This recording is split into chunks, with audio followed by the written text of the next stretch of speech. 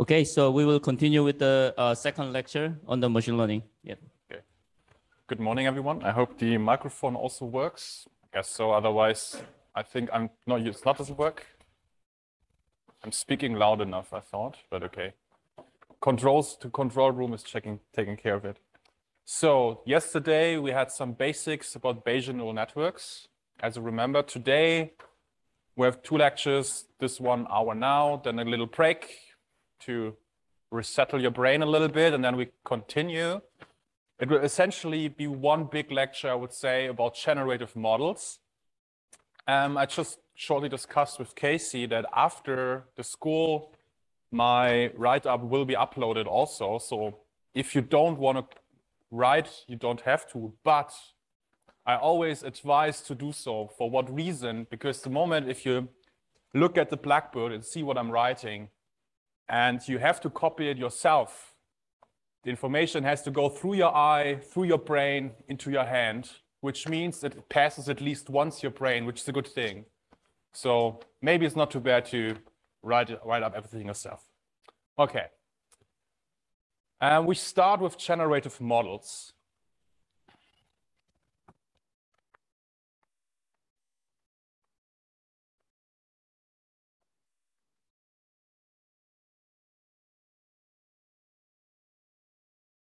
Before we go into any detail about the different variants of generative modeling, we first have to ask ourselves, what is generative modeling about? What we usually are interested in, or we have, is we have some distribution which we are interested in, which I call p-truth or p-data. Of X, where X is our feature space, no matter how we describe it. High energy physics, this could be four momenta, but it could be also any other representation, depending on how you want to represent your data. Further, given this, we're interested to sample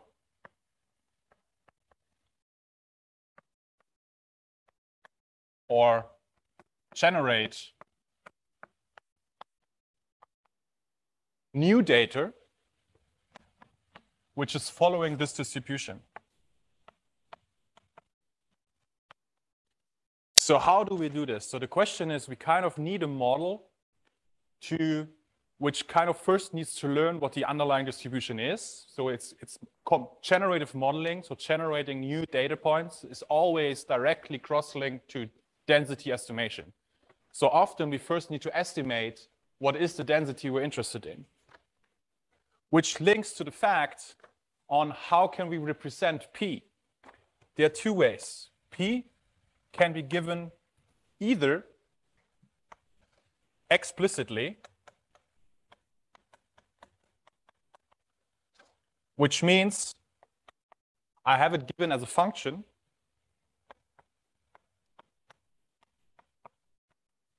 which could, for instance, mean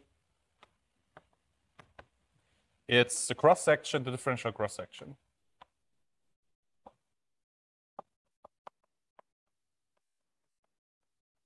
Or the amplitudes or whatsoever. On the other side, and that's this is kind of a thing which is kind of an advantage for us in high energy physics often, because we have quantum field theory, which means in many cases we know, or we at least have a good estimate of how the true probability might look like. For other scientific researches or general uh, machine learning applications, that's not always the case. There, you rather often have the other part, which means you have it implicit with a, via a set of data points, which are following this distribution which could be just, for instance, a set of images and you want to find this distribution in order to generate from it. So generate new images. So, but as I said, in the end of the day, it's a physics goal, so we're not interested, I mean, it's still interesting topic to talk about generative modeling for new images, and that's very fascinating what to get out of that. But in the end of the day, we want to apply it for high energy physics or generally physics, not just particle physics. But since I'm a particle physicist and theorist, I'm mainly interested in that part. So what are the parts where we would like to apply it?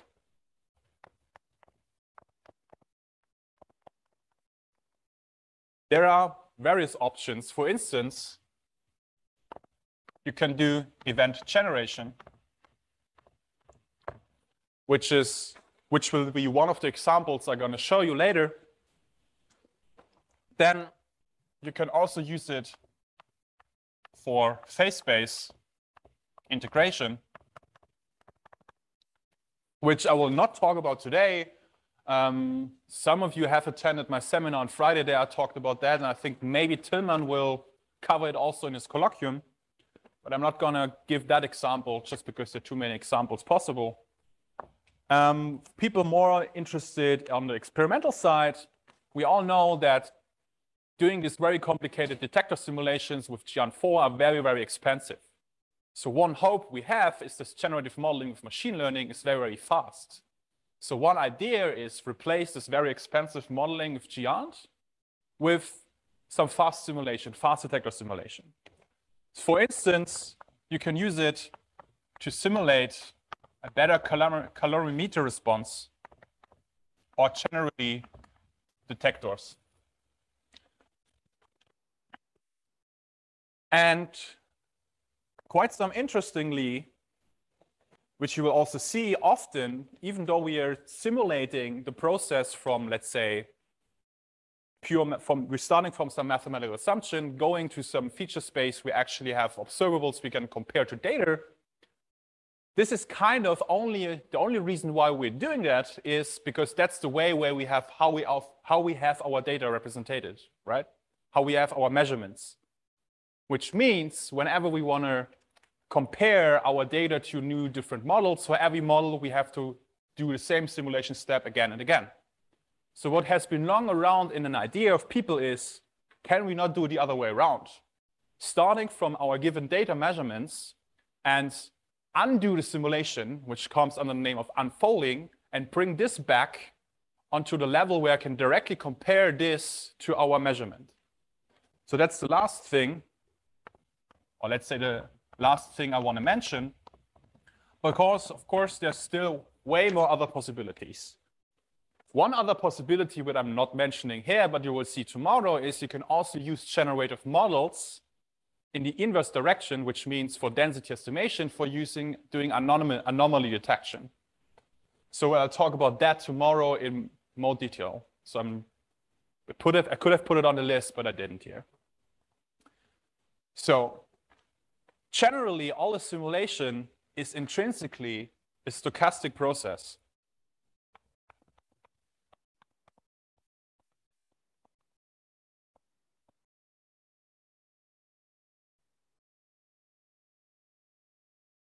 What does it mean? This means whatever we do, our input to our generative model should be somewhat random. So we need some random number generator which means we usually start with some input, which is some pseudo-random numbers.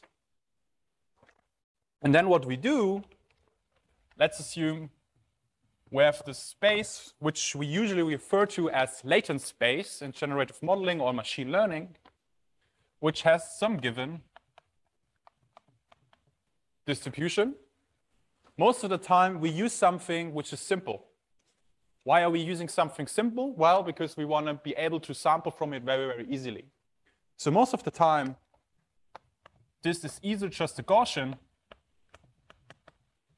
or some uniform distribution.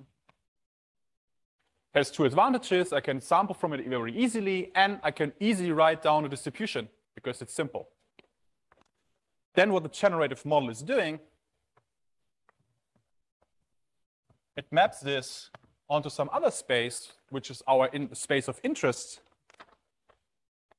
which I call p data. And this mapping is what we're interested in. So we have some mapping f theta of z. Okay, where our x is obviously f theta of z, and this should follow this distribution. That's what we're interested in. Okay? So what we actually want, okay, let me be more precise. X follows some distribution which is given by the model intrinsically. But what we want to achieve is that this matches P data. So that's essentially our task. Okay? So the question is now two ways. First of all, how do we construct such a model? And second, how do we train it? There are quite some models around. I just want to mention some of them before going talking about them in more detail. One of the first people have in mind, which is not like historically the first one, but you will see later on that the way I'm going to introduce it, it makes more sense to start with them, are generative adversarial networks, or short for GANs or GANs. Second, which were actually historically the first one people were considering because they have a, in principle, very simple structure, are so-called variational autoencoders. And in machine learning um, community, not very new, but at least in particle physics, quite new, let's say in the last two, three years only, are normalizing flows. Which I will spend almost one hour, at least a try to just on normalizing flows, because there are nowadays, for most applications, kind of the state of the art of generative models and also very useful because you will see later on, they give a possibility to give an explicit density description. There are, of course, more models than that. There's more simpler versions like Gaussian mixture models. I'm not going to talk about that.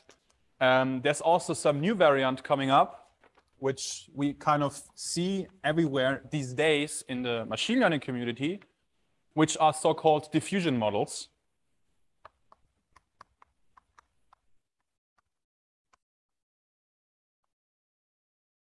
I'm not really have time to talk about them, but I know for sure that Tilman will mention it in his colloquium because there are not so many particle physics papers out there which already use this, but in one of his papers they, are, they used it and he will mention it. So we kind of, um, yeah, talk with each other what to cover. So possibly you will hear about everything. Not in that much detail math-wise about this part, but it's not that, not that relevant. And of course, there's any kind of hybrid version of combining these things. You can also use, again, combined with a variational autoencoder, combined with a normalizing flow, whatever you can imagine. So that's, of course, always possible. But let's start, before we continue introducing any of these models, how do we know, once we have a certain model trained, if it's a good model or not? So let me first start with introducing some metrics and how we can determine whether a model is useful or not.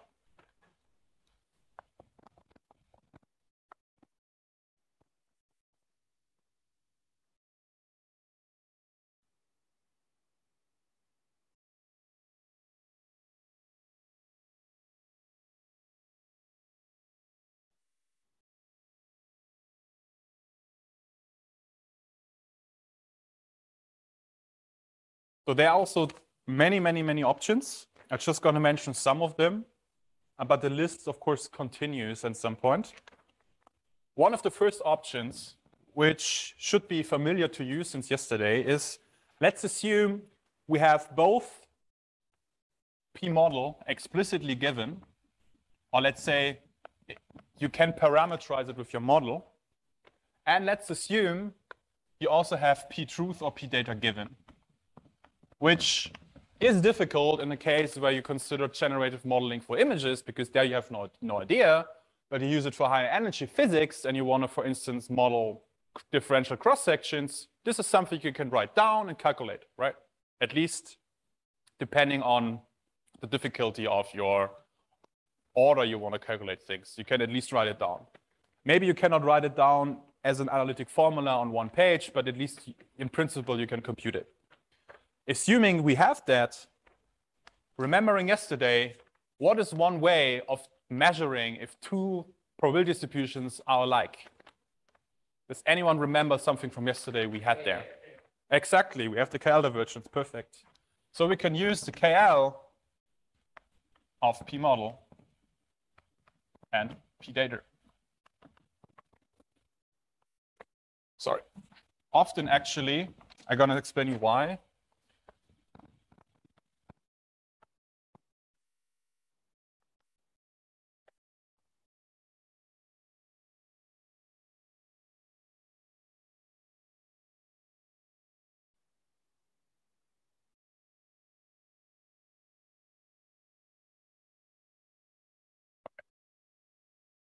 Just repeated what we already had yesterday, and I'm also going to add another line. So this integral in terms of an expectation value, because that's what we always can most of the time do, because we always have like a set of data points, so we can never do the actual integral. So we always have to express things in terms of expectation values. This means it's the log of p data over p model given the data points distributed according to p data. Okay? So as I falsely wrote down first, of course, what you can see here, in principle, I'm allowed in the KL divergence to interchange these things. So I could also put p model here and p data there. But if you look at the definition of the KL divergence, it's not symmetric, which means I would replace this expression the other way around, it looks in principle similar. It, you think it's just taking the inverse of that thing, which is true. But for taking the expectation value, in this case, you need to have samples which are coming from the truth, which is always the case in machine learning applications. If you have it the other way around, you need to have samples which you have generated from your model which of course is something you also want to achieve because you want to have a generative model. Depending on which direction you, you choose, it's sometimes referred to as reverse KL divergence or the other way around. And they have different properties on how they push things into certain directions. There are, of course, also other variants, uh, uh, other options of comparing um, probability distributions. So for instance, one thing I just said, it's not symmetric. And because it's not symmetric, it's also per definition mathematically not a metric because a metric needs to be symmetric. But in principle, you can also write down a similar thing, which is symmetric and is also per definition a metric, which for instance is the so-called total variation. I just simplify it now with P and Q. And this half is more or less some standard writing, and you just take the absolute difference between P minus Q. What you often also find in the literature, instead of having the KL divergence, you can symmetrize it, right? In principle, you can take this one plus the interchanged option and then divide everything by two. This one is always referred to as Jensen-Shannon divergence. So it's the symmetrized version of that. So you think it might be a metric, but it's actually not because there a metric has more axioms to fulfill, not just symmetry. It also must fulfill triangle, the triangle inequality, which is not true for the Jensen-Shannon uh, divergence, but this one does. There is, of course, a bunch of others. So I'm not going to mention all of them, but there's a very nice, I think, math or statistics paper. So if you're ever interested in finding any other divergences, there you can look it up. And it really depends sometimes on how you construct these divergences, because in principle, it's also possible to use these things as a loss function on how your model optimization works, where and how you push things in which direction. Okay. The next thing I want to mention is um, shortly that often what we are doing in particle physics is we just generate events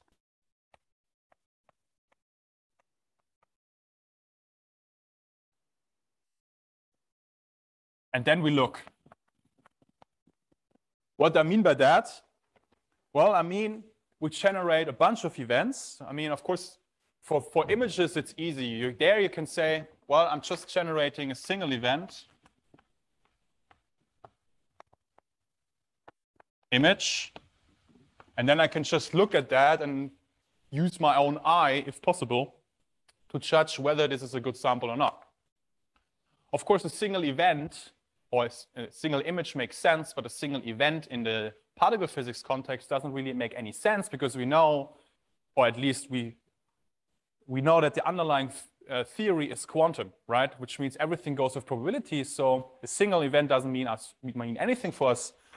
So what we have to do is we sample a lot of points, and then we end up, because if it's 10 dimensional, I have very hard time to imagine a 10 dimensional thing in my brain, but maybe it's just me. So what most of the people are doing is going using histograms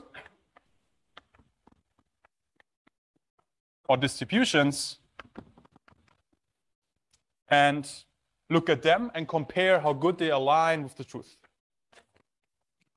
But of course, this is not necessarily the best estimate because depending on which distributions you look at, you might miss correlations or something like that.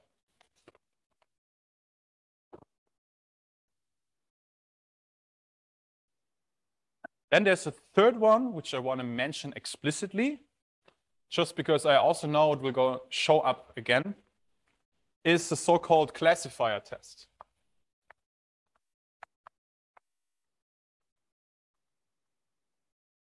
This is actually not that new in the machine learning context, but quite new in the particle physics context. And there, there were just just two papers out actually working on that. One was with Ben Nachman and me, and the others were Tilman Plehn and David Shih collaborators, where we explicitly used the information of the classifier to judge how good the model is.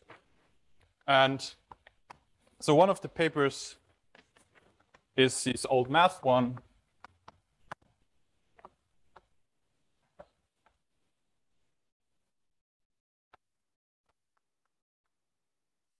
Then there is this Sorry. latest one from David Shih in France. And it seems I forgot to write up my own one, but it will show up later on.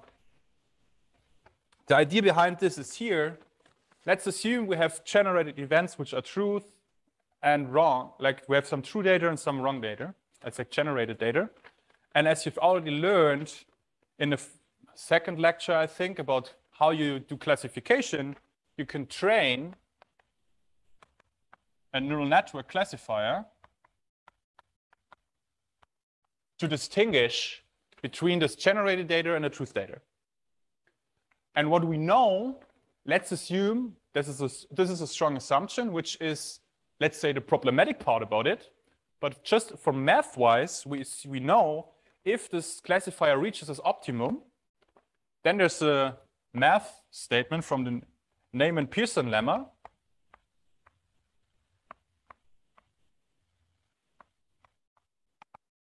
that this classifier exactly yields the log likelihood ratio of both things.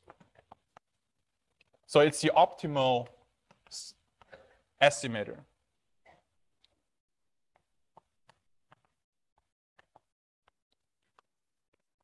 So if you train your classifier C to optimum,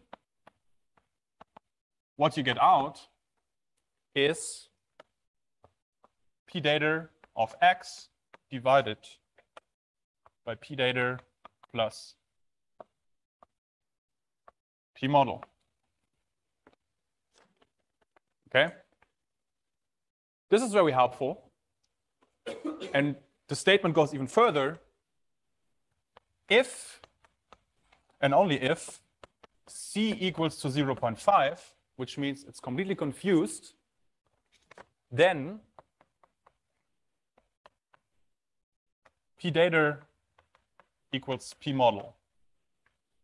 So that's very cool. So we have something which is in principle very, let's say, um, yeah, you don't need many assumptions to, to do this. But of course, there's this one big but is all of this holds only under the case that the classifier has been trained optimally, which of course is generally not always easy. Okay. But if we would be able to do so, then we have a really good possibility to get a good estimator. There are, of course, a bunch of other options to, um, which I just want to mention. One is the so-called um, Earth mover's distance, also called EMD, which essentially describes if you have the most way, the most simple way to understand it is, let's assume you have two piles of dirt which look differently. And the Earth mover's distance describes what's the minimal cost by shipping around dirt to transform one of the piles into the other one. So this is also something you can also generally apply to probability distributions. The only problem with this is the aim, these Earth mover's distance becomes very, very expensive the moment you go away from one-dimensional distributions, which makes it most of the time not really practical for our applications because physics probabilities are intrinsically high dimensional. Sorry? Sure.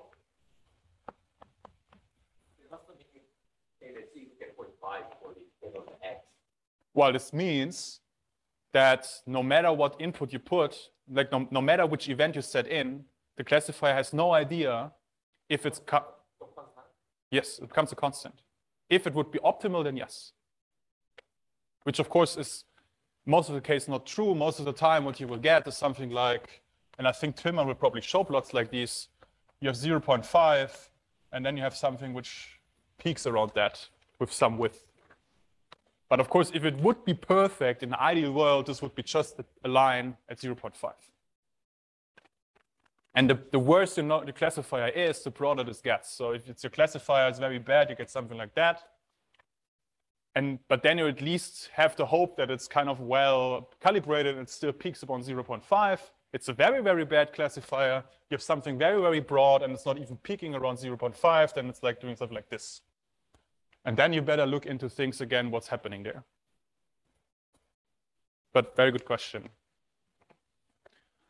And then there's also other things like maximum mean discrepancy, which I also want to mention now because it will show up later.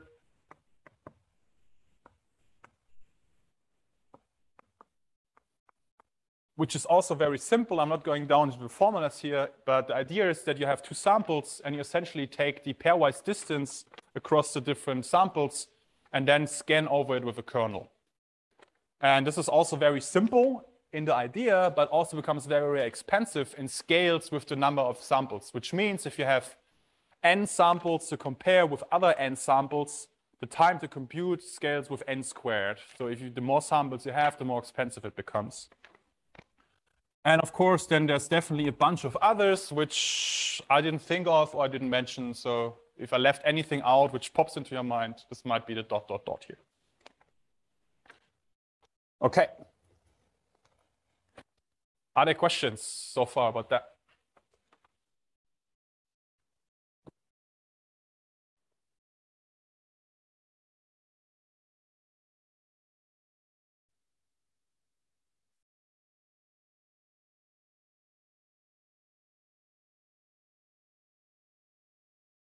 Yes.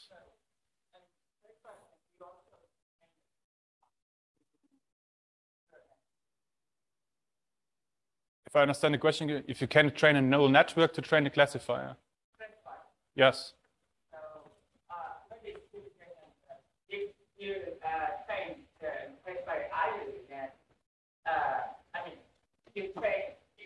so let's say you train the classifier with the GAN and test with the, the, the, the uh, generated by the, let's say, uh, rule, and it was, uh, I mean, this is the classifier ideally that, uh, the, the, the you, it also goes to equal zero point five.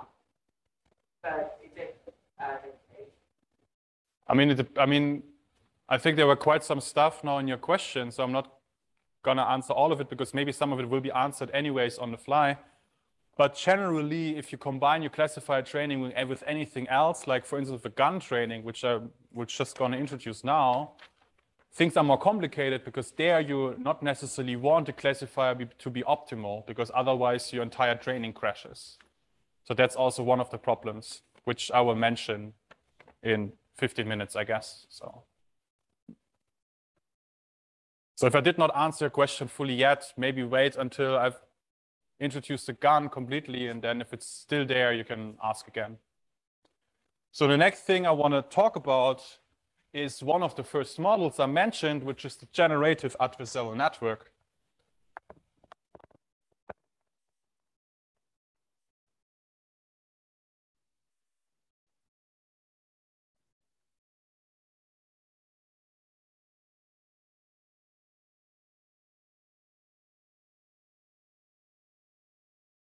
They became quite famous at some point, first of all, because of their very nice idea, and second of all, they were the first models which were able to generate realistic images, which were often by eye not distinguishable from the other set from the training data set. And how do they work? So the idea is very, very simple, and in my point of view, very, very beautiful. So you train two neural networks against each other. So they're in competition. It's like two players playing chess. You have one network, which you call a generator, which essentially serves as our generative model, which means it does the mapping z to x. Then you have a second network, which you either call discriminator or classifier or adversarial network. So there are multiple things how you call it. Usually it's short form is D most of the time. And this is now trained on your generated data and the truth data and tries to distinguish between your truth and a generated one. And usually it's like associated some number. So it tries to get the class zero for everything which is generated and one for everything which is truth. So what you do here is essentially what I just described in order how to quantify the quality of a model. So you have some generative model and you use this classifier metric in order to train this generative model. So how,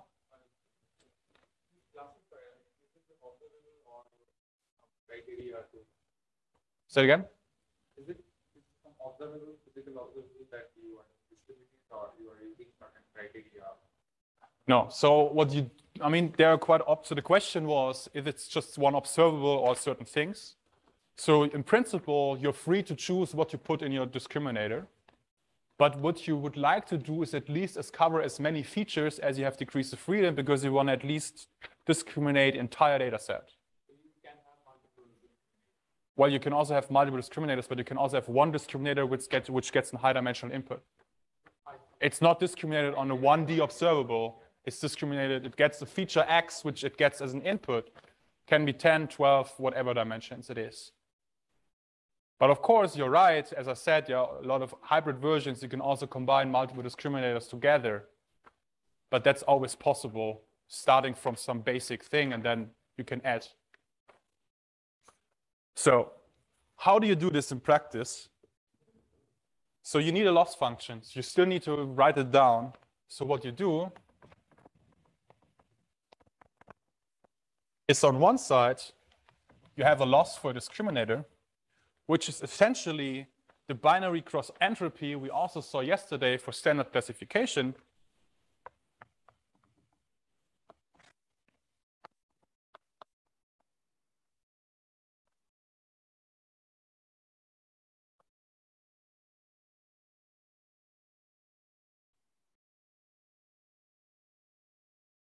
Let me shorten the P model as P theta. And the idea is discriminator tries to minimize this loss because it tries to be good in distinguishing. Okay.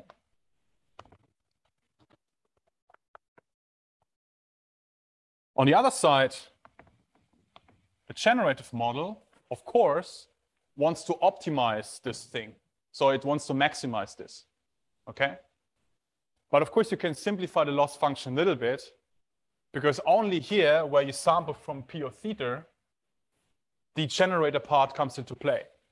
In this part, where you sample from data and you put it in the discriminator, the generator is not part of it, which means if you take gradients with respect to any parameters of the generator, this part will drop out. Which means if you want to separate these things, the generator, the generator tries to maximize this thing. Often, like, I mean, mathematically, it's well defined like this. Now you have two problems. First of all, that's, that's more like by construction, all machine learning frameworks are set up in such a way that it does, mini, does, that it does minimization, not maximization. But that's quite simple, right? How do we get a minimization out of this? Well, we just change signs to make a plus out of it. That's very simple. Another problem, what people found out, and I, later on I will show you a plot for that, is even though this is mathematically well defined, actually computing gradients of this is not very beneficial because in the beginning of the training, when your generator is very bad, you get very small gradients, which makes your training very, very slow. But you can show that mathematically equivalent, so this gives you kind of a, let's say, bad gradients,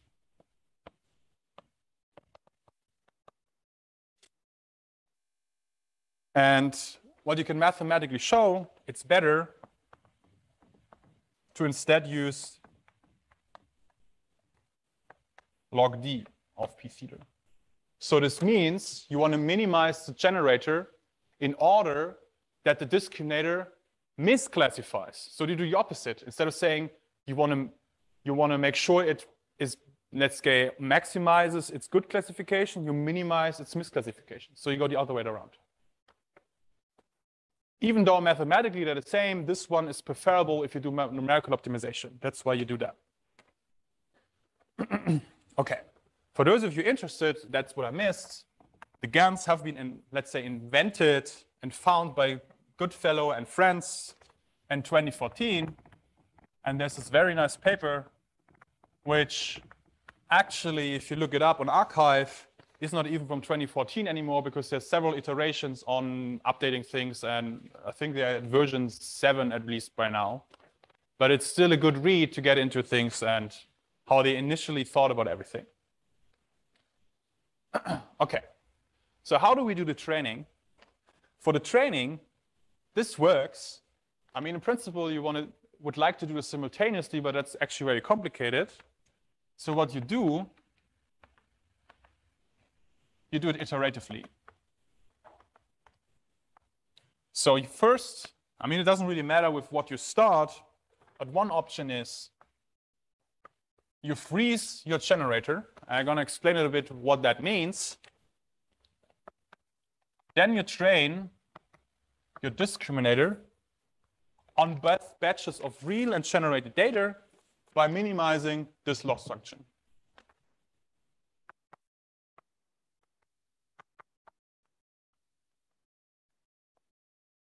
The next step, you freeze your discriminator,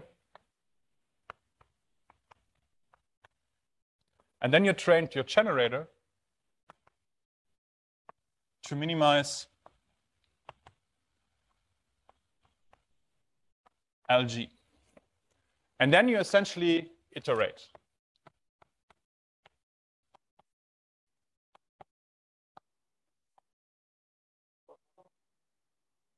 I mean, as, as much, that's like essentially means one epoch is both things doing once, and then depends on how many epochs you want to do. It's like a hyperparameter like any other neural network optimization.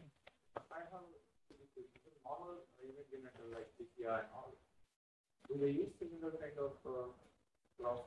No, not at all. So the question was if standard simulators like Pythias or do something like that. These very simple and short answers, no, not at all. They don't. But we are currently about to implement several of these techniques, not necessarily generative address neural networks, but we try to supplement all of these generative standard tools with machine learning methods because they're faster. Going back to the Friday question. Exactly.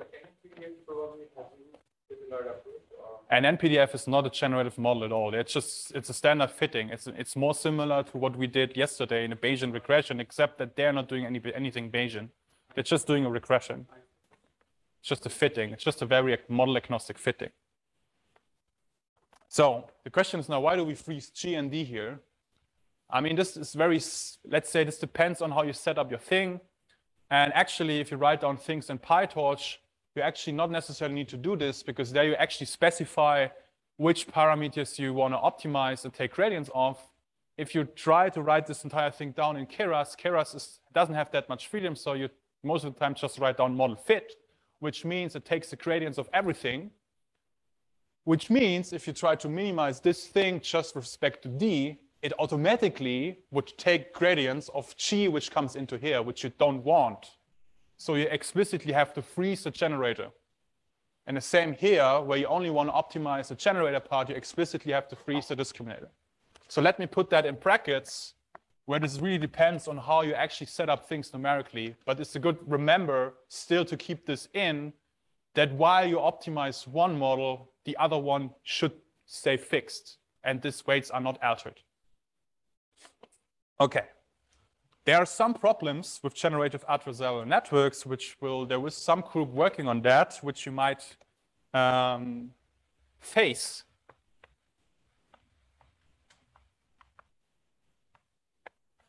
First of all, you have this often referred to as min-max training. This is very unstable because in one way, if one of the networks is much, much stronger than the other one, and, the, and for instance, the discriminator is way too good, which refers back to his question, and is trained as an optimal classifier, you add a point of 0.5, and you, you think, oh, that's good because it's very good in classification. But on the other hand, you add a point where when you then try, starting from this, let's say, fixed point, try to take gradients of the generator, your, your gradients are zero. So we'll not get any gradients anymore, which will mean you have a very good trained classifier, but your generator will not change anything. So that's a problem, which means you need to make sure during training that the classifier learns something, but not too good, so that the generator is still possible to keep up and keeps on optimizing. So you have some kind of vanishing gradient problem, which as a term you already heard yesterday in terms of the recurrent neural networks, it's just a different reason here because you have this competition. Um, there are possibilities to solve that, for instance, with regularization, which might be something you have to use, regularize, or you can take a penalty on the gradient. So for instance, if you optimize your discriminator, what's often been done is you can calculate a gradient, but then you want that the gradient of this discriminator is not too big. So you penalize if it's too big. In order to make you kind of um, artificially hamper the training of your discriminator.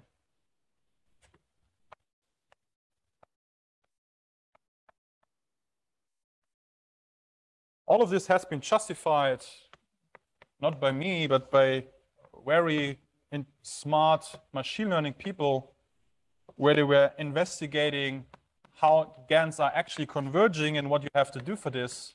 Because even though the idea intrinsically is very, very nice, actually training the entire object is highly non-trivial. Okay.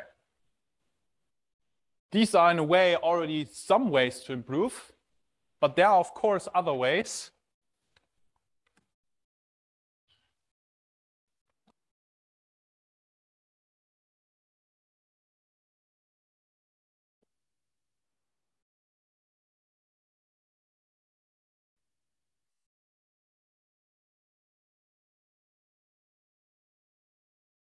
And people are, at least around the, let's say, 2018, 2019, 2020, there were so many papers out there back then of people trying to, like, say, optimize and publish new ideas and how you can make GANs actually work. I remember this very, very well because in 2017, when I, when I worked on GANs myself the first time, and tried to apply these, let's say, we essentially just took the toolbox from machine learning, tried to apply it on event generation, thinking, oh, it's a good idea. It works very, very nice with images, tried it on event generation, essentially what one of the exercises is about, and then used it out of the box, and we found it doesn't work. Perfect. And then it took, let's say, one or two years while constantly waiting for new machine learning papers and interacting with machine learning groups about different techniques to actually make things work, both generally by improving the uh, improvement of uh, the, the training and also make it work with high energy physics data, which is intrinsically not an image. Because one problem, and I will talk about that also in a bit, is while images where you actually have something like an idea what one event or one image is, as I said in high energy physics, one event, unless you consider a big event in a calorimeter shower, but on a like parton level, stage one event, as I said, quantum field theory doesn't really make any sense. So you need distributions. So we actually care about the quality about the distributions. That's what we're interested in. So you need a, let's say, I would consider as a second order of precision. The first order would be the single image. The second order is the distributions. And if we just check quality of images, this first order quality is very, very good.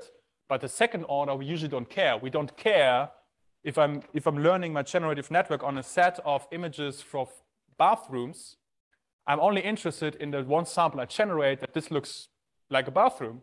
I don't care if I sample 1 million bathrooms, how the distribution of those images look like. If I would, I would also find that these distributions are not very well distributed. Okay, so what are ways to improve? There are multiple ways. The most, let's say, straightforward thing is what about using different loss functions? One of the possible loss functions which has been around and suggested is the so-called Wasserstein GAN, which is mathematically very much related to the Earth mover's distance. So that you can show mathematically that the Wasserstein metric and the Earth mover's distance are equivalent, equivalent to each other. And there has been two papers. The first one was in 17 where the standard GANs didn't really work and people were using this, then realizing, oh, it's a nice idea, but it also doesn't work because the problem is in order to have the Wasserstein GAN working, you, have, you need to have certain constraints on your function, which one thing is called it has to be a Lipschitz constraint, something like that. So people were thinking about how can I implement this? And then there was a follow-up paper just three months later, which was called Improved Wasserstein GAN, I think. And there they introduced essentially this gradient penalty term, which essentially helped exactly to obey this. But then on the other hand, people were very hyped about these Wasserstein GANs, and I was too in the end, the beginning, and still realizing, okay, they work much, much better than a standard GAN. But then found this paper at some point, realizing why not just using, I mean, people back then only used the gradient penalty for whatever reason on the Wasserstein GAN because there they really found it's mathematically necessary to do so. For the normal GAN, if you just write down the loss function, there's first of all no mathematical strict reason why you want to implement it there. But people in machine learning and also we decided let's just do it anyways, and found if you plug in a gradient penalty in the standard GAN description, it also is way better, and it's even better than the Wasserstein GAN. And then we were like curious and like, okay, maybe it's just happening for us, and it might be just a, uh, some kind of a coincidence because it's a very specific problem. But then there was also this other paper in this one where they actually have proven that even with gradient regularization, a Wasserstein GAN not necessarily has to converge which means Wasserstein GANs are not as superior as people always thought, even though it's still a very nice idea. So another way of obeying these, let's say, doing similar things like the gradient penalty, um, because the gradient penalty is in a way very expensive. The reason for this is you have to take a gradient of your discriminator, and then from this gradient, during backpropagation, during optimization, take another gradient. Which means you have to take quite a many gradients, and taking gradients is kind of the most expensive thing when you, if you consider uh, neural networks. So the forward pass without gradients is most of the time the fastest, but taking gradients is the slowest. So if you have to take gradients twice, it slows down things quite significantly. So people were thinking about other ways, and there was another way. And I'm going to mention this specifically for the group which tries to work on things. It's called spectral normalization, which effectively just changes which eigenvalues your weight matrix is allowed to have. There's this nice paper which explains the math behind it. But for those of you who just want to apply it, the nice thing is you don't really have to care in a way because there's a, a, a layer there, both in PyTorch and TensorFlow, which is called spectral normalization, which you can put in, which helps. And quite interestingly, I, we were not really sure how powerful these things are. So at some point, I talked to Ben Nachman, who was one of the first guys using generative adversarial networks in high energy physics, at least to my awareness. Sorry to everyone I missed. But the first thing they did were using GANs for um, calorimeters, so for calos, so they call it CaloGAN. And it was okay, but it didn't work very well. And people were always saying, oh, GANs are just not good. They were just not good. But back in the days, it was 17, there was just no regularization, or at least it was, they were not aware of it. And at some point, working with Ben, we found out if you just put in a spectral normalization, you just improve everything by a huge factor. Suddenly, everything looks super, super smooth. So this regularization here is very, very powerful. And of course, you can also use other losses like for instance, least square or some relativistic GAN, etc. So there are multiple options you can do. And of course, in a way, you can also combine everything. Nobody forbids you to do that. But of course, the more things you combine, you always, the more hyperparameters you have. So it might also be more complicated. But in principle, no problem ab about that at all. So um, let me, just five minutes, but that's not a problem, shortly mention a pro and a con about generative adversarial networks. So the pro is, and this statement has a little bit diminished in the last year with the appearance of diffusion models. But GANs are very, very great with images.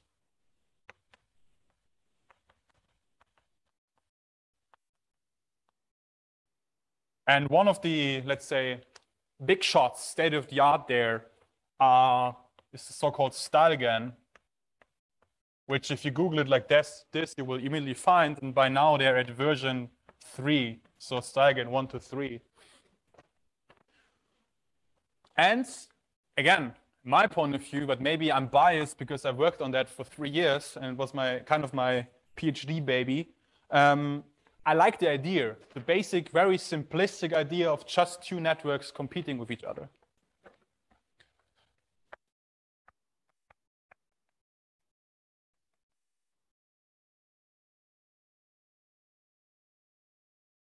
But of course, as we have already heard, there's no free lunch,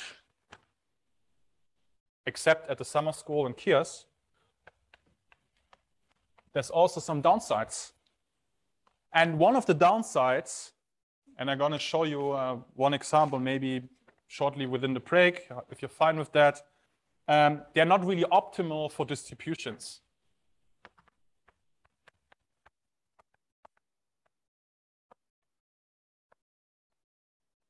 One of the reasons is that the training itself doesn't really give you any idea of the model of the model distribution actually learning.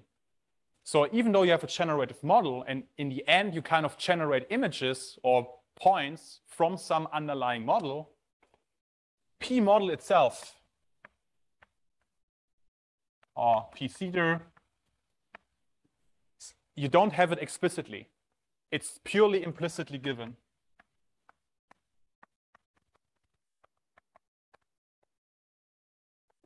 Which means it's also not very useful um, for density estimation because you have you don't have an density. You can only sample, but you cannot write down or you cannot express it as a function. And the last thing is the loss.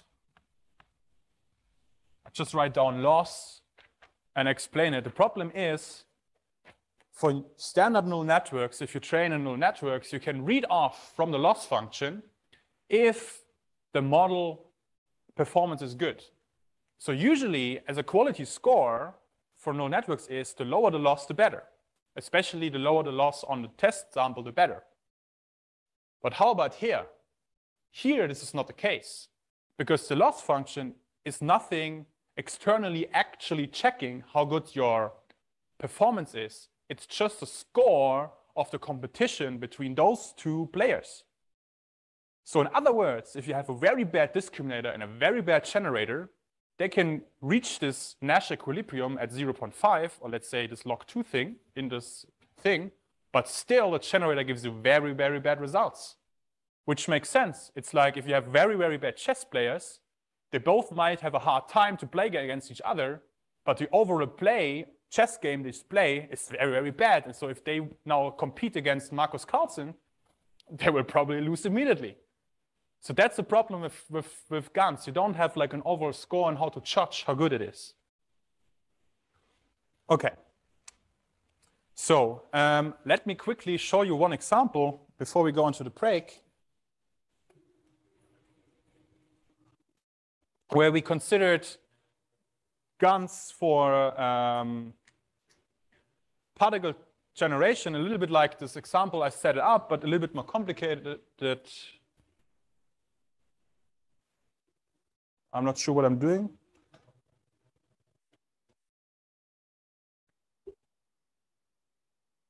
That was the wrong one, apparently.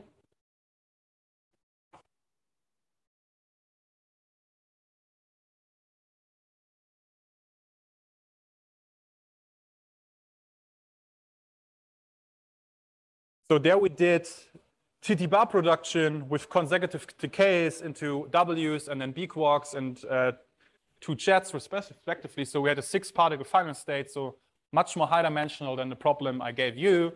And because here you have two top quarks decaying into W's, decaying further, you have four intermediate on-shell masses, which are complicated to shape because you have resonances everywhere.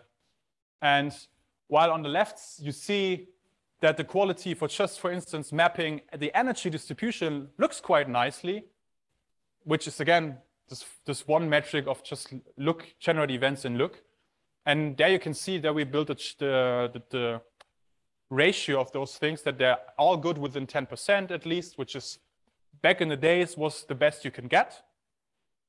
But even then we found if we do the same thing with the invariant masses, which is of course a very complicated observable, because if you only consider the final state particles, this is a highly correlated observable which connects the two final state particles, then you have to calculate invariant mass of it. So it's not trivial. So that's not explicitly given in the data set. So the network really has to learn it. And this green curve here is what again gives you out if you don't help it. So it kind of gets the peak, the, the, uh, the position, but the width is way too broad. And this is something we found, and this is very, very similar. This is the reason what I mean is if you have sharp features, sharp structures, these generative, this, the GANs explicitly have way, way hard time to find these things. Here, what you can see, so the truth is the right one, red one, you have two other curves, which means Breit, Wigner, and Gauss. This is where we helped the neural network by saying, okay, well, we are physicists, maybe we can assume that we know something about our process. So we explicitly parameterized invariant masses of all of the external final states and then just use an additional MMD loss just to cross to check if there's anything happening. If we added this to our loss function, then it nicely finds this peak. Not to the perfect quality, but way, way better without putting that in. All right.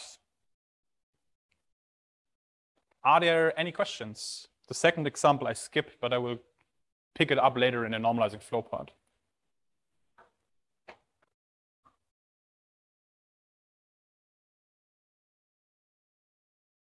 If there are no questions now, no problem. We will have a break and we'll meet up again at 11, I think. And sure, if there are coming up questions in the break, just ask me. Otherwise, ask it in the next session. We will then continue shortly with variational autoencoders. I'm a little bit behind in time, but that's not a problem. I've written way too much up, but it's fine. So you later on can find it when I upload it. And just shortly introduce variational autoencoders, just the main idea, because I think it's nice to see the analogy to the Bayesians neural networks.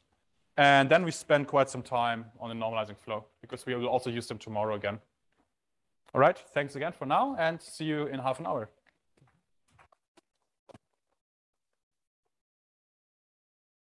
Okay, then why don't we get started uh, for the second lecture in the morning today? Yeah, please. Perfect. So let's go ahead so we can then, after that, digest everything over lunch, I would say. So we already covered generative adversarial networks, which I put in this little box up here.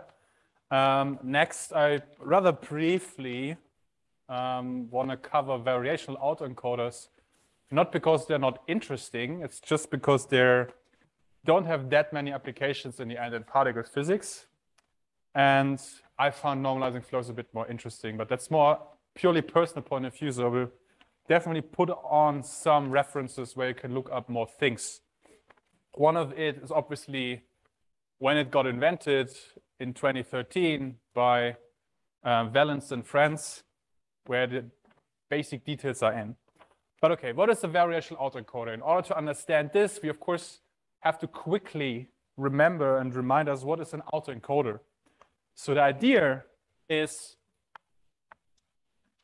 you have some part which you call an encoder. This is essentially a network which narrows down onto some smaller space, which is again the latent space. And then afterwards, you make it bigger again in the decoder. And you end up with x prime. And let's say your input dimension is d in, and your output dimension d out, then you construct it in such a way that the output dimension and the input dimension are the same, while the latent space here, by construction, is asked to be a bottleneck. Um, why this might be interesting, I will cover tomorrow again when we talk about anomaly detection. But the crucial thing is you first use some input, compress it, and then you decompress it again. And the idea is to then match that the output here is the same as your input. So roughly speaking, your loss is a simple mean squared error where you have something like, well, let me write it like this.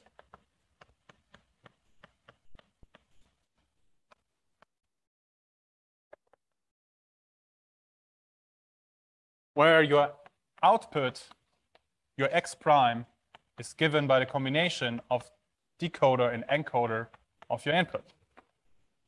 So this compression here or going down in latent space of the size is quite important because this means in order to achieve that x prime equals to x, you cannot do the identity mapping because obviously you're going down in dimensions, so this doesn't work. So actually something non-trivial has to happen. So the question is now, how could we use this for a generative model?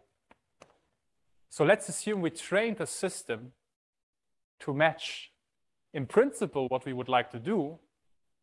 We don't consider this encoder anymore and just start from the latent space and sample here, pipe it through our de decoder in order to get a new output. So the generative model sample z and then your new samples are just d of z. Does anyone see a problem? Sorry I'm staying away.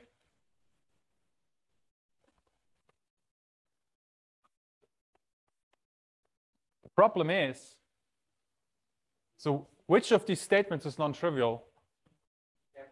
Exactly. I wrote down sample z, but from what should I sample? I mean, I have no idea how the latent space looks like my encoder has um, represented. So there's no regularization at all. So I don't know how to sample.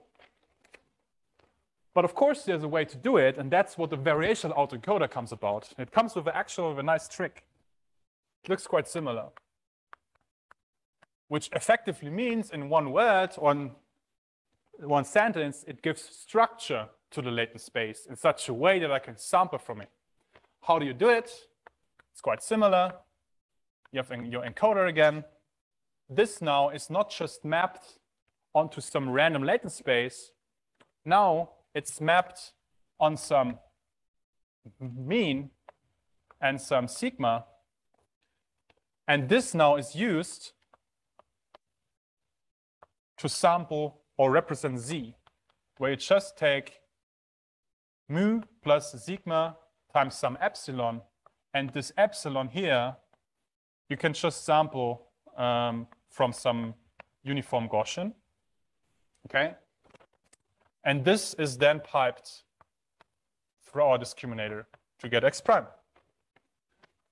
If we do this, we can now sample from our network because we know how mu and sigma looks like, and we have this.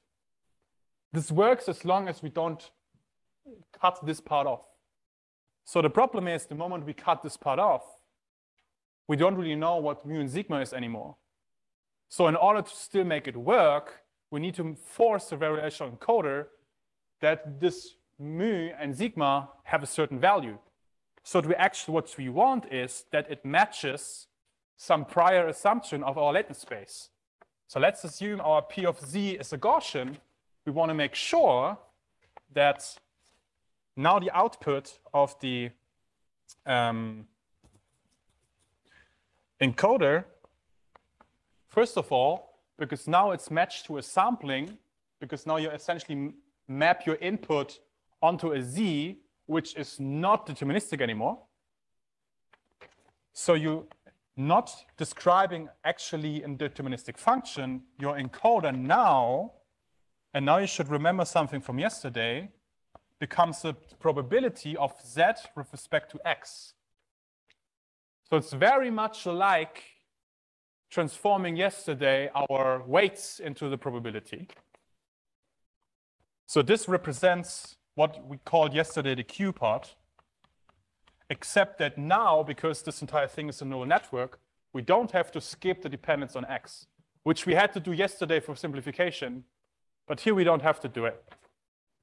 And then our um, denominator and not, sorry, not denominator, our decoder equally, because it becomes an input distribution, it's now also a distribution x of z, which is what we called yesterday px of z. Okay? Now, what we would like, what we would like to be interested in is finding the truth likelihood p z of x, which is kind of the inverse of this thing, which we don't have, right? But we want that the encoder does the inverse of that. So what we try to match are those two things. Or in other words, um, we try to make sure that this matches this. Okay? And this is exactly what we wrote down yesterday for the Bayesian neural network.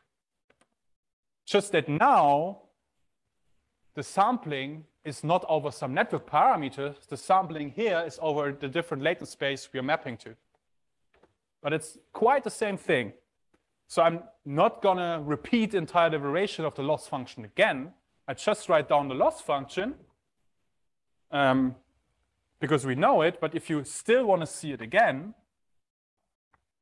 there are two things where you can look it up if you want to, even though it's the same we did yesterday. But sometimes it's useful to see the same derivation once again in a different context. So let me just write down the loss. So now we have, like yesterday, minus log of dx of z. So that was the likelihood. So that's what the thing we call yes, yesterday p, right? Remember? And yesterday I wrote it with a with a integral, but in a way an integral in a sense is the same thing as an expectation value. So the z is now sampled from our encoder, which was the q from yesterday. So that's the same expression. So we should know that. Plus, what was the other thing we got yesterday?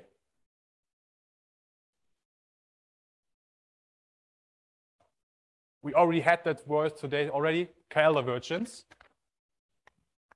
of, what did I say?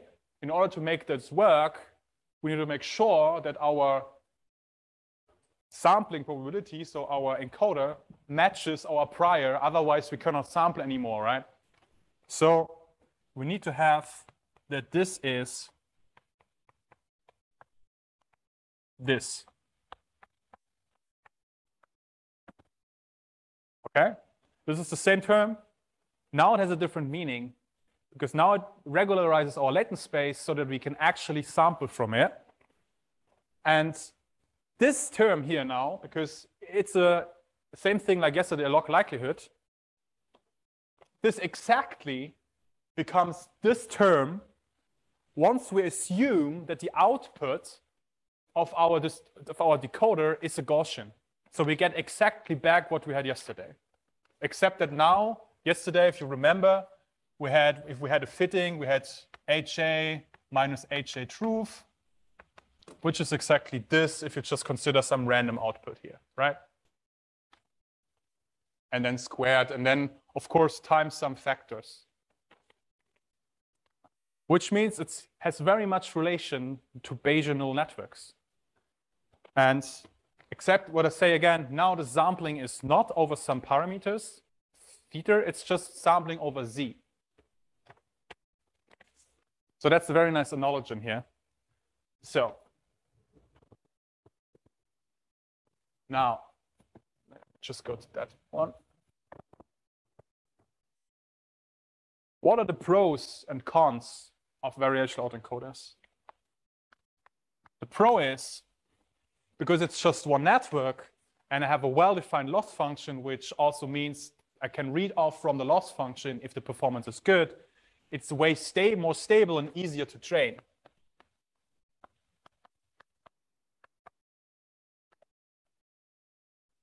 On the other hand, I have an explicit map on my latent space and back. So I have a really explicit map. That's nice.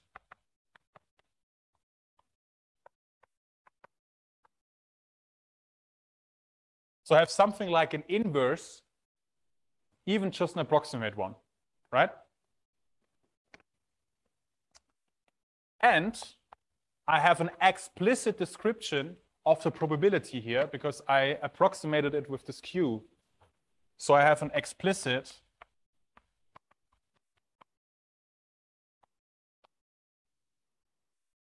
qz of x. And starting from this, which you will see later, I can also get an approximation of our full data likelihood, which is the thing we want to approximate if you want to do kernel density estimation, like some, some density estimation. But there's also, of course, cons, like always, because of this problem that it's not actually the same thing and you have some freedom on how you choose the width of your Z, they're actually not performing that well most of the time, neither for images nor for HEP applications.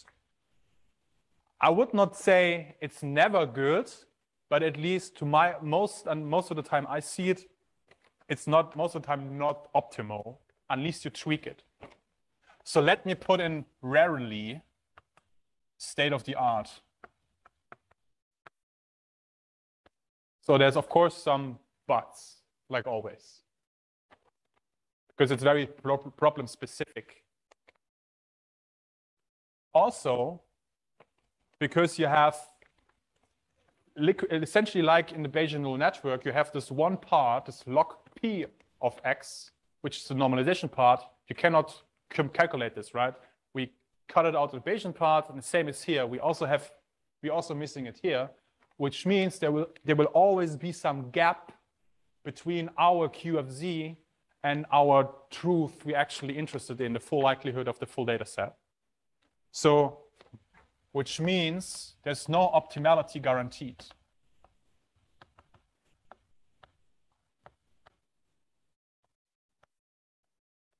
And coming from that, what you always call this, you have a likelihood gap because there's one part of the likelihood, this P of X, which you cannot calculate. Or in other words, so what is missing here is this part. Right? That's the part which is missing.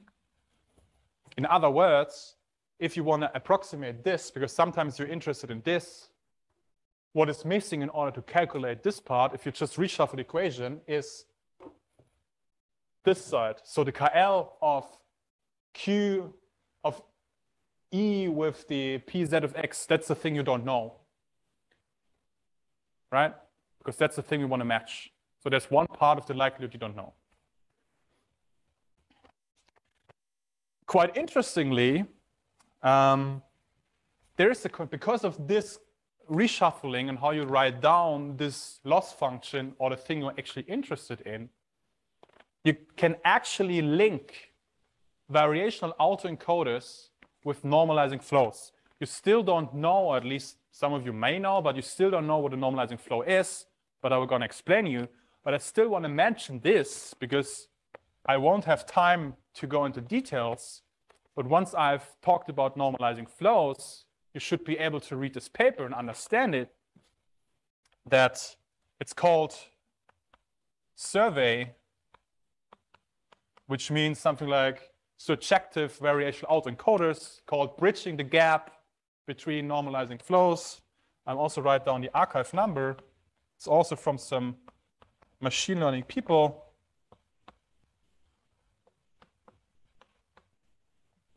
Where they find that there's a connection between normalizing flows and variational autoencoders.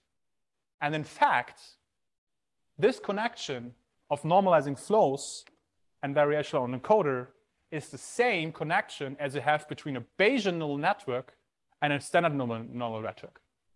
In a way, the normalizing flow is kind of a deterministic special case of a variational autoencoder with under certain circumstances.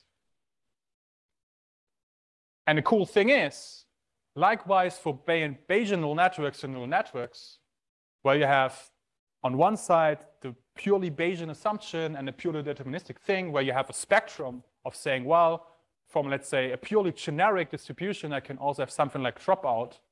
I can actually do the same here. I can have something which lives in between. It's not purely a variational autoencoder, but it's also not yet a normalizing flow. So that's the only thing I want to say about that. If you want to know more about this, I recommend you to read into this paper. Okay.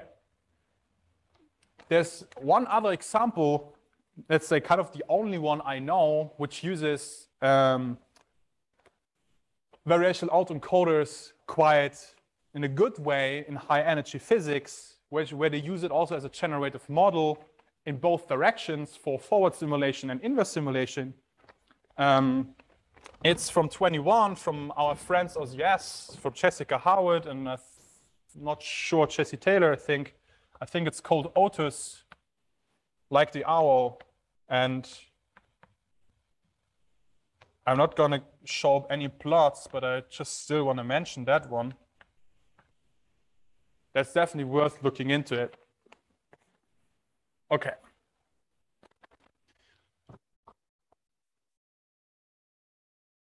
So now I want to talk about what are normalizing flows. I've already mentioned them yesterday, today, I'm going to mention them tomorrow. What are normalizing flows? So next thing I want to talk about are normalizing flows. So we have the variational autoencoder, and now we do the normalizing flow.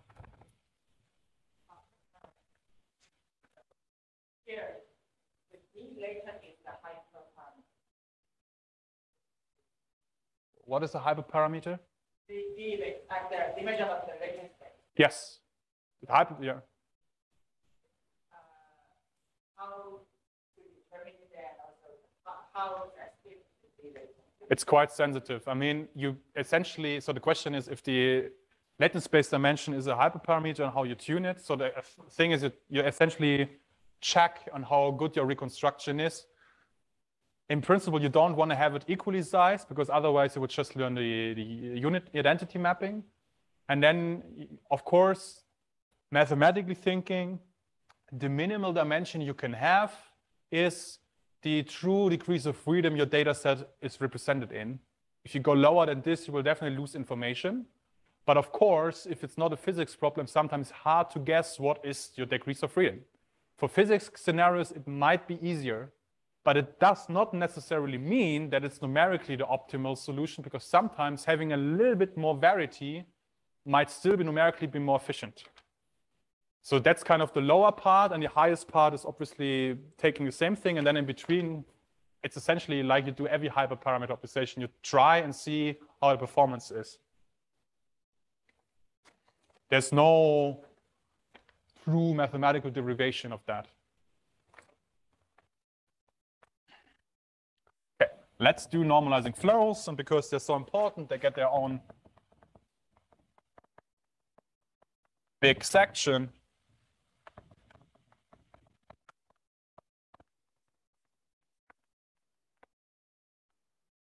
All right. What is a normalizing flow? So far, we always either didn't had any chance to get P at all, which was in, a, in the, the case. There, there was no explicit description at all.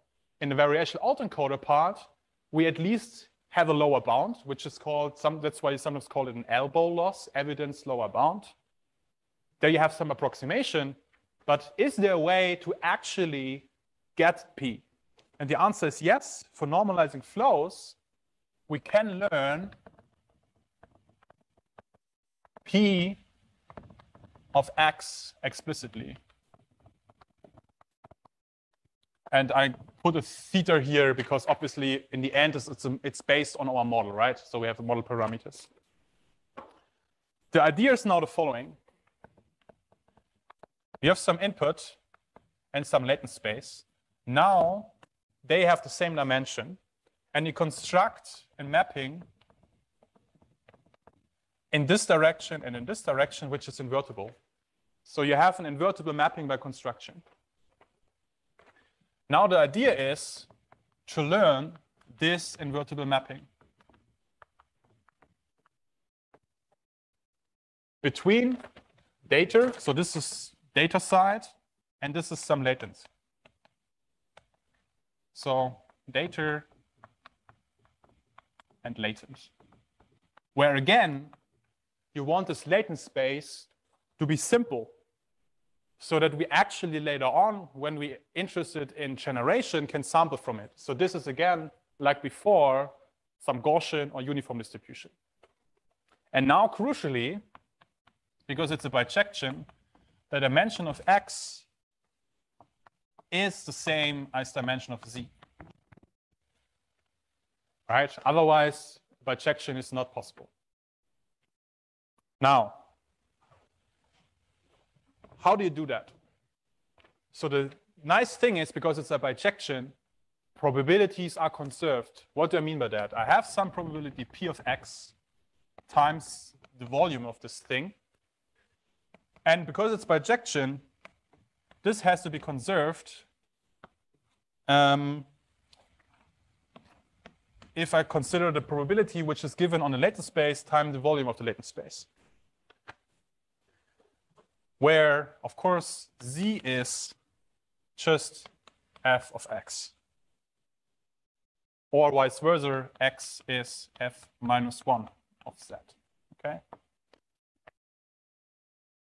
And then from this, I get that p of x, let me put a theta here, is p of z, which is equal to f of x, times the Jacobian, or more precise, Jacobian determinant of df of f, the function f. And now you have everything you need in order to calculate your likelihood p theta of x.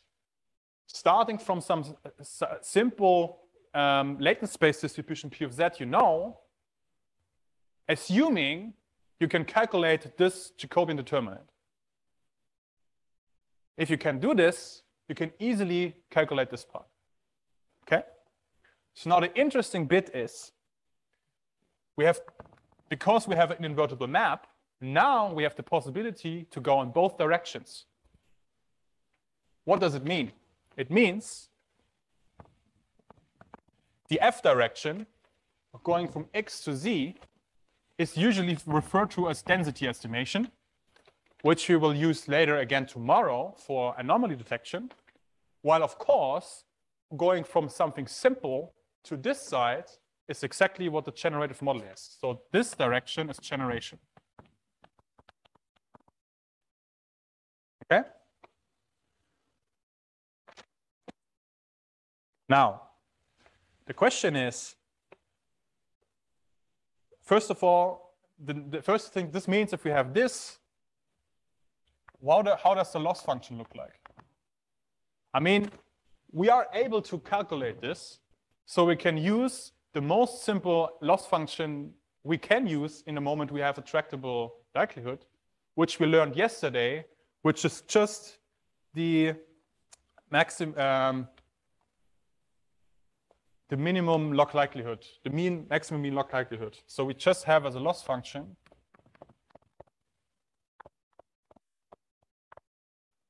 this bit. So we want to maximize the log likelihood, or we minimize the negative log likelihood, right? That's why the mean and minus is here, because we only can do minimization. And that's cool. And because we have this very simple thing and can directly link the loss function to a statistical property of estimation, estimating this log likelihood here, that's one reason why we think, and also machine learning people think, normalizing flows are so stable in training and so powerful. Because you really have a description of your probability, and you can really train and treat it as a probability during optimization, which was not necessarily the case in all other scenarios, where we always had to approximate it or even were not able to express it at all. So now the question is, how do we calculate this part? I mean, we need to be able to, we need to have a tractable Jacobian, which just means it's a Jacobian which I can compute in a finite time amount of time. Otherwise, it's useless. So that's the next point. How do we achieve this to get a tractable Jacobian? It's actually a little bit hand wavy because I'm not just want to have the Jacobian, I want to have the determinant of it. But I always will, whenever I speak about it, I will just say tractable Jacobian. But it's a determinant of it, okay? And so how do we do it? This is df dx determinant is, of course, the determinant of a d times d matrix if you have d dimensions. This means this determinant scales like d to the power of 3, which means if we have a very high dimensional problem, 100, 1000, this scales very, very badly if you just compute it like this, which makes entire thing super, super slow. So this has a very bad scaling. It doesn't mean it doesn't work. It just means it's not very efficient.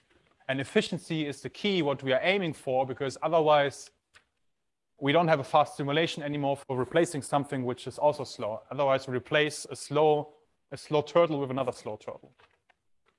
So how do we achieve that? How to fix this?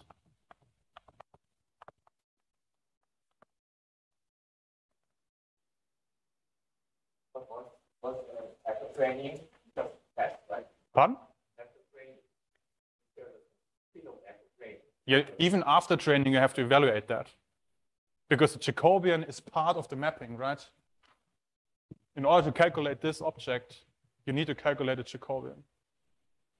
I mean, okay, if you just want to sample, you don't need it because you just pass it, but for training, you need it. And if you're interested after training in, inf in inferring P of X, then you also need it. If you're just interested in sampling events, then it's fine. But then the training is still super slow. Okay, so the basic idea and how to solve this are so-called autoregressive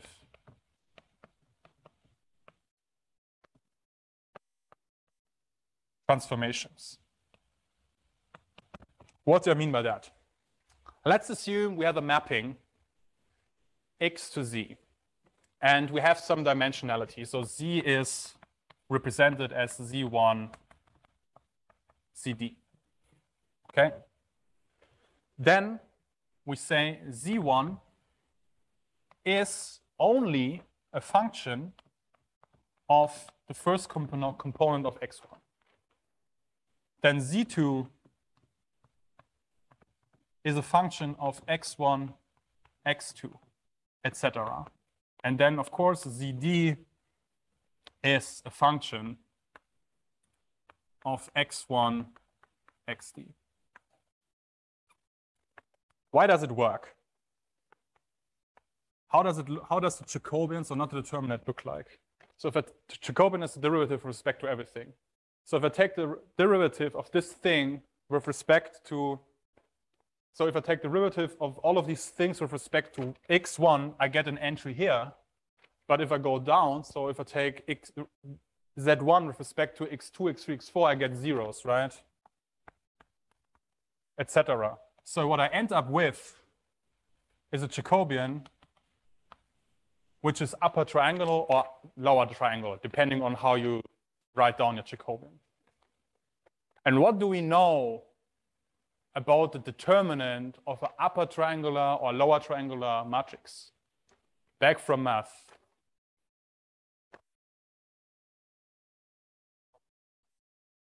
Yeah, I think I heard some mumbling. It's just the product of its diagonal.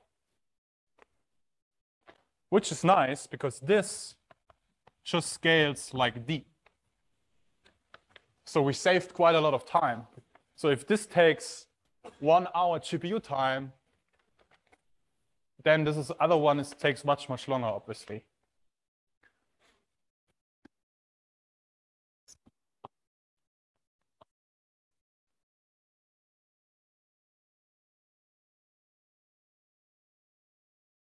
All right. So that's that's very cool. Of course, in the end, what you do is you're not required to have one of these mappings of x to z. So in the end, you have a chain. So you start from some x, map it onto some latent 1, then you go further, do 2, and so on. Let's say z of n. So you do multiple of these blocks in order to describe the entire mapping. And you know, of course, any chain of an invertible mapping is an invertible mapping again.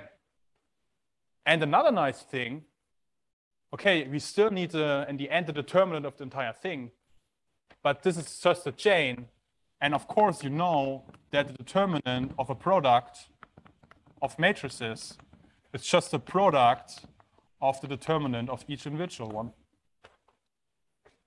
That's just a math statement. That's cool. For each individual blocks, we can calculate it. So we can also calculate it for the entire block. And this thing, this entire block, that's what we call a normalizing flow. Okay?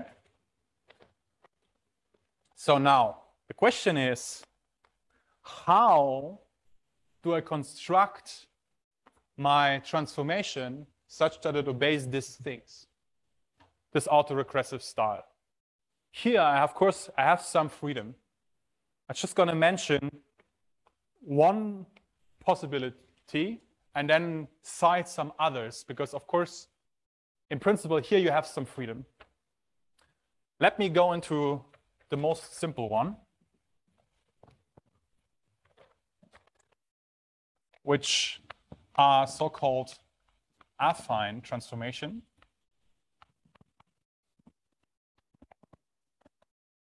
What you do here is the following. Your Z1 is just some parameter alpha times your first x1 plus some mu1. Your z2, now alpha 2 is a function of x1 times x2 plus mu2 of x1, etc. Now you can check for yourself that if you take derivatives, you really get back what we had here. So you really have an upper triangular matrix. Now, of course, since we say we have an invertible mapping, how do I inverse this thing? Well, the inversion is actually quite simple. So for xi, I just need to do zi minus mu i over alpha i. I can just write it down. Of course, there are two, there are two caveats. First of all, in order to be able to allow this, we need to make sure that this is never zero, right? Otherwise, we have a problem. So what you usually do, you're not, it's similar like the discussion yesterday about do I parameterize sigma or something else? I'm also just parameterizing the log of it. So I'm actually doing something like uh, e to the s of x or whatever it is. Let's just write it like this. Now the trick is, because invertibility does not depend on how alphas, except for this log, except for this exponential here, and how mu are parameterized, these things here are now parameterized by neural networks. So these coefficients I can parameterize with a neural network and can be like as flexible as I want to. Okay. Now, of course, there's another caveat in this specific case. If we look in the inverse direction, if you are precise, x1 is z1 minus mu1 over alpha 1. x2, though, is z2 minus mu2 of x1 and alpha x1. This means if I go in the inverse direction, I can only do it step by step.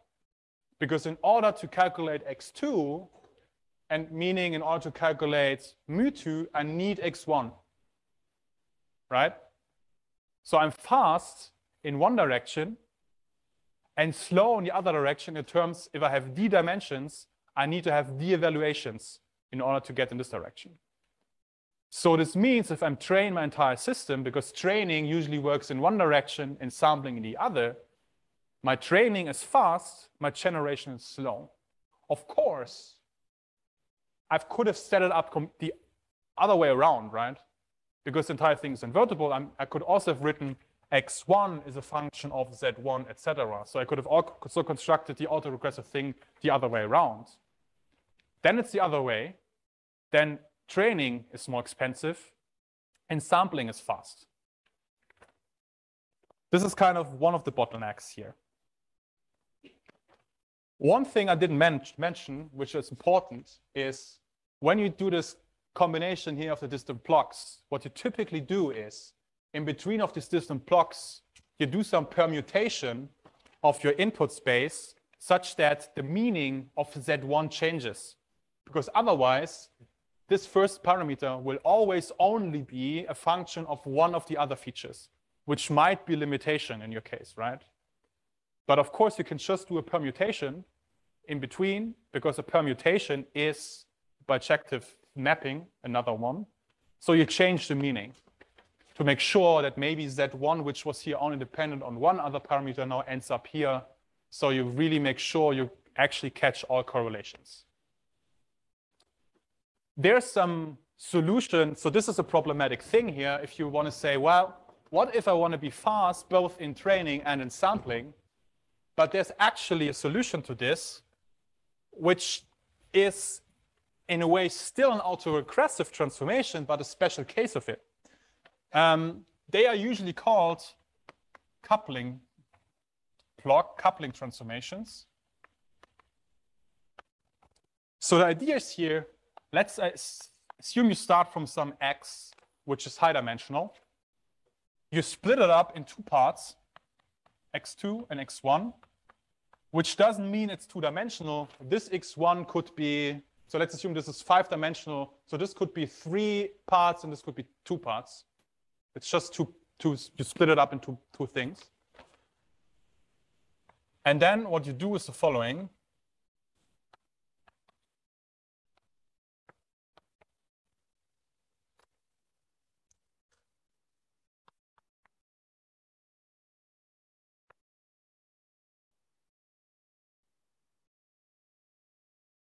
You essentially keep one of them exactly the same.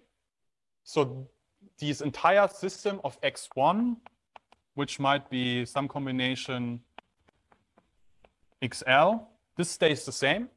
And you condition the other part with respect to this. So what you get is effectively something like this. z1 just equals x1. z2 is now a function alpha times conditioned on the entire block. You split it times x2 plus mu of x1. Since now z1 is equal to x1, this here, if you inverse it,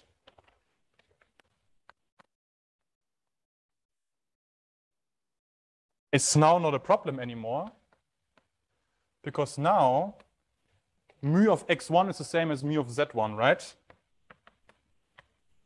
So there's no need anymore to do it multiple times. So we are equally fast in both directions. And you can prove mathematically that starting from this very generic thing, you can construct a coupling block by setting some of these. So if you start, for instance, the affine formation by setting some of these alphas to one and others to zero, for instance. So you can prove that, which means the coupling block is a special case of uh, a standard, uh, most generic thing, which makes them a little bit less expressive, but they are much more convenient often because they're fast in two directions. There are, of course, many other possibilities. I'm just going to mention some of them before I'm going to show the last 15 minutes some examples in order to use different transformations and which are even more powerful because this is just an affine transformation. So there are obviously more options. And the most standard thing comes under the idea of piecewise splines. And there are most of the time three different kinds we use, which are either quadratic ones, which was tested in some paper from some NVIDIA guys called Thomas Müller, which is not the football player of Germany, it's just a very common name.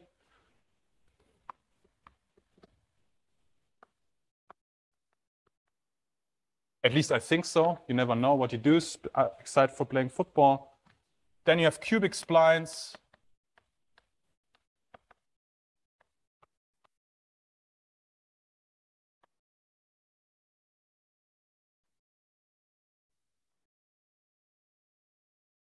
And then rational quadratic.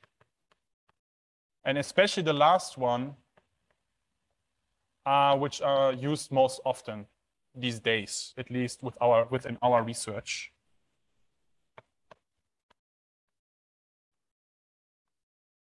The reason for this is twofold. First of all, they're very, very expressive. Similarly expressive to the cubic splines. The problem is that for cubic splines, you don't have an, um, an analytic inverse, so that's a bit more com- complicated. For rational quadratic ones, you can write it down, which means it's faster. Plus, the other thing, these splines naturally act on a unit hypercube. And for most, let's say, my applications these days, which is transforming unit hypercubes, that's just a little bit more natural to use because you don't have to do any remappings between a real, the total real space and this compact unit hypercubes. You can naturally apply that. But of course, that's not a limitation because there's always a bijection between a compact space and the total, total R, if you want to. All right, so now we have 50 minutes, that's perfect, to discuss examples of normalizing flows, unless you guys have questions. I give you a minute to think about it while I clean the variational autoencoder part, which we don't need anymore. Uh, I have uh, one conceptual question. Um, so in this normalizing flow, you have a feature space X, and you have a latent space Z, and your loss function is the uh, the negative of log of the the, the probability, It's Yeah. just like a log likelihood. Uh, Yeah. so then, does this mean that the representation of X is changing to the representation in terms of Z? Yes, So you are not changing the dimension. So you are trying to uh, you are trying to find another equivalent representation of the, your feature space. Yeah, yeah, yeah. So what I'm doing here, I can maybe, here what I'm using is exactly my change of coordinates I introduced here, which means this becomes log of my latent space, which I pick in such a way that I know it, z of f of x. So I start from my x space, go in the inverse direction to get my z value, to put it into this p of z, which is a Gaussian or uniform, times the Jacobian I calculate. And then from this, I effectively get this one, which I then minimize. So I do this change of coordinates. So the since the dimensions are the same, so if I think of some kind of physics problems in the X space, I'm moving, I'm changing the problem, the same problem in terms of Z in, in the Z space. Is it obvious that there is another representation exists with the, uh, the, the, the largest probability that you are uh, minimizing over there in the loss function? I'm just saying, I'm, I'm just curious whether there is equivalence representation in Z, which will give the same features as in X. Is it obvious there is another representation of such thing? Yeah, no. And the honest, fair answer is it is not always the case.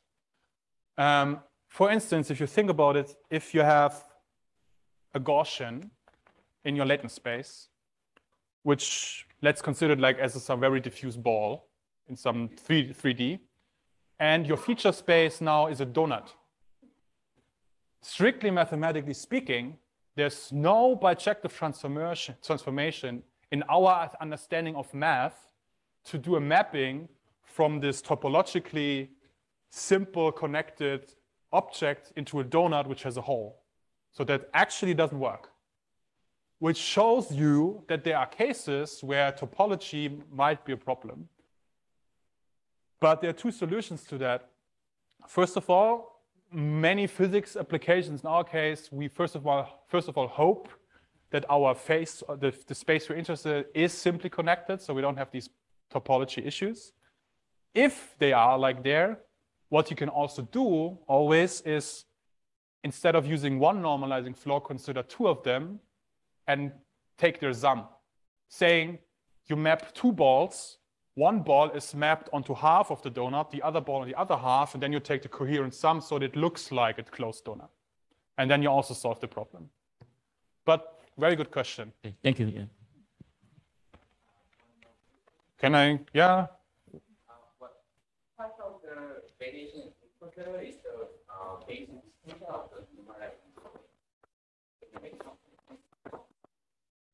Um, the well, both parts. I mean, in principle, the encoder part is the is the normalizing flow part. Okay. Yeah.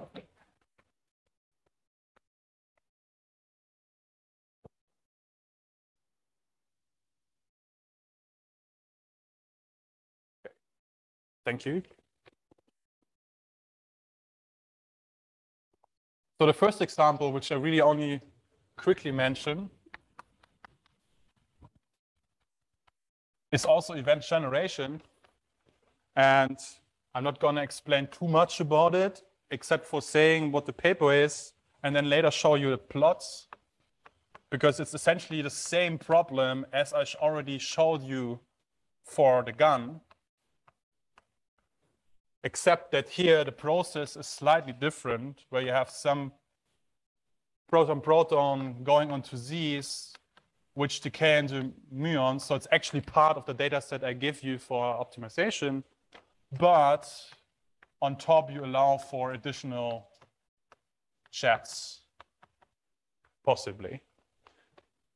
And I will show you the plots in a bit. So um, as a spoiler here, I can say that you get much but better results, even without using like an MMD or something like that. And the training is much more stable.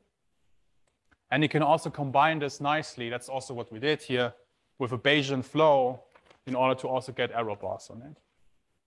The second example, which I rather use now to shortly explain, is the idea of unfolding.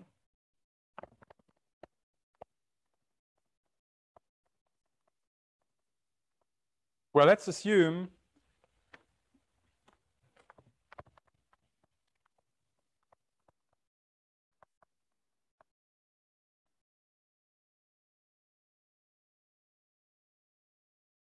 you have some detector level, for instance, invariant mass.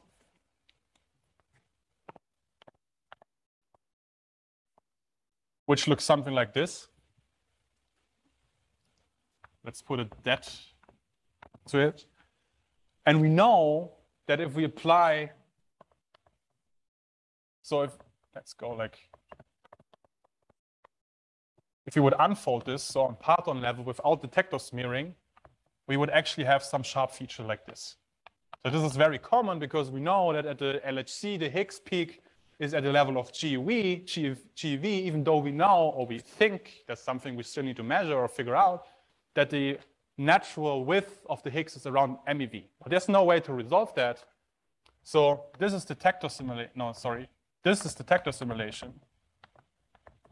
And the idea would be to take our data and go the other way around. So that's unfolding. So the question is, how do you do that?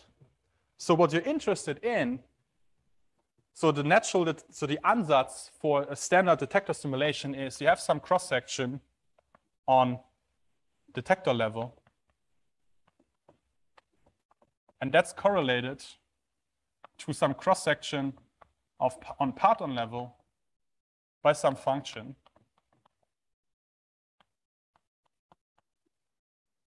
which we call transfer function. Of course, the other way around would be now you want to do unfolding, so you're interested in your parton level distribution.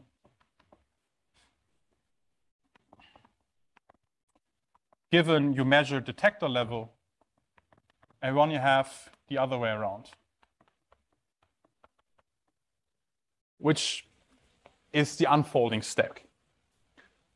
And of course, these things should be normalized, which means if you, for instance, um, integrate out like this.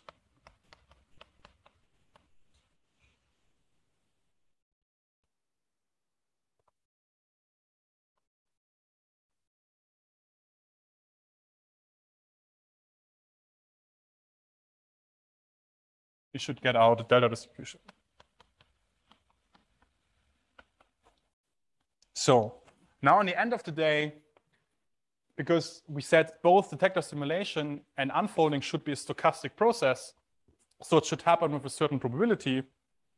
What we're actually interested in is not just a transfer function, we're actually interested in a conditional likelihood. So we're interested in the probability to measure X detector given a certain parton level, which would be the, the, the detector level direction. And the other correspondence, we're interested in a likelihood to measure a parton level um, event given a detector level event. Okay?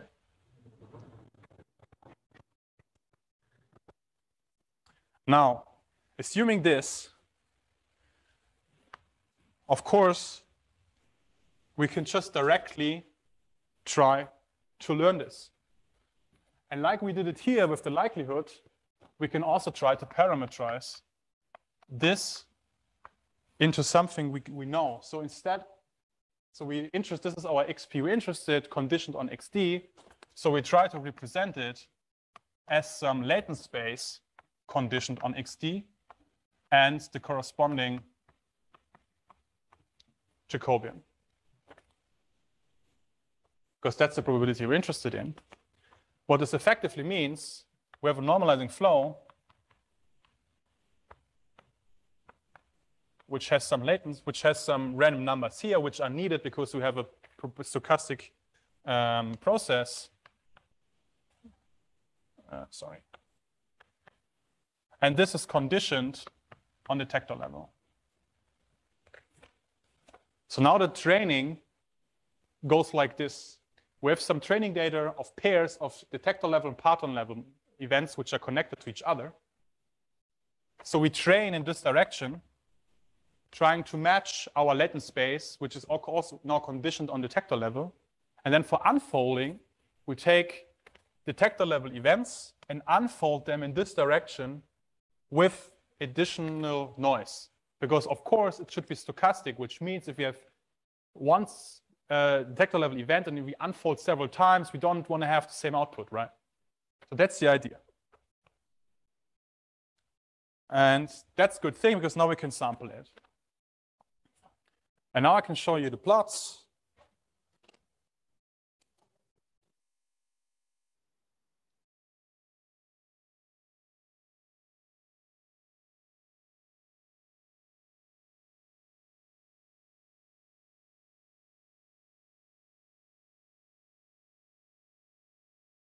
Three minutes should be enough. Then can we all head to the to lunch?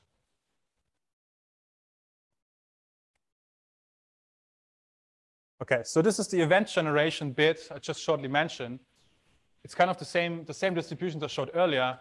Um, just here that we also included an additional bar to actually see at what level of precision we are. And on top of truth, which just means we have like a billion of points to make sure there's no a lot of stochastic variance in it. Compared to the INN, we also put a truth um, stochastically independent sample in it, which has the same, uh, same number of points, which means we sampled 1 million of uh, events from our flow, which is here the INN, which means it's the, it's the fast variant, where I'm fast in training and sampling, and compare to the training, also with 1 million points, to see how much of the precision we are stochastically dominated. And you can nicely see that within this line, we, we nicely match our training data at the same level of precision. And of course, as you expect for going further in the tail, the precision goes down just naturally because you have less training data there and less information to extract.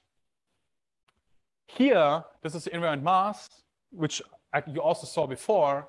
Of course, you see the quality is not as good if you especially look in those two panels. But if you remember how it looked for the GAN without the MMD, which was essentially something like this, with much, much better improvements. And again, in principle, we could have also implemented here uh, on top an MMD, but in a way it's a solved problem. We didn't insist to do so. We wanted to see what's the performance without doing this trick. And we see the performance is much better. Pardon? Um, that's the detector level, I think. Uh, after Parton showering and Delphes. Yeah, and then you can, in principle, can also do the same thing with Bayesian neural networks. Then you can see, if you look the left plot and the right plot, compared to before, that the error bars got bigger, which is now because on top of the pure statistical error bars, we also get the error bars from the training of the neural network. Unfortunately, making a network Bayesian is not always a good thing because sometimes this regularization terms limits the expressivity of a network, which you can see in the invariant, invariant mass, where you actually get both not a very good density plus the error estimation is also wrong. So what you would have expect is that at least if the density is wrong, the error would be large. But here it actually fits. And then last but not least, um, there's some, this is unfolding thing. Um, so if you do this, the left-hand side is not really important because I didn't have time to go into that. But here's the unfolding I meant for a single detector level event and you do multiple unfoldings. This is the ex exact actual Parton truth you would expect. Bless you. And in principle, you can do the same thing with a fully conditional GAN. But there, because you don't have any expression of log likelihoods, you cannot really make sure that you keep the stochasticity, which means, first of all, well, it doesn't really get the mean correctly, but this can happen. That's okay. But it also has no, no, no width. So it's essentially always the same point. It kind of, even though also for the GAN, we were feeding in random numbers, it kind of just learned to ignore it. Which cannot happen in the flow because there, the random number or the, the, the, random number part is part of the actual mapping and not of the condition, which means it cannot ignore it because of the bijectivity.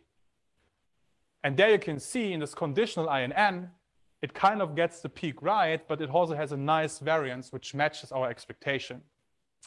This other option here was a different idea where we didn't try to use a conditional INN, but rather directly mapping the detector on Parton level, but then we of course had to extend each sides with additional noise in order to match the dimensions, which is of course in the conditional not a problem because the condition can have any dimension as you like, completely unrelated to the actual mapping between your other, the lower part.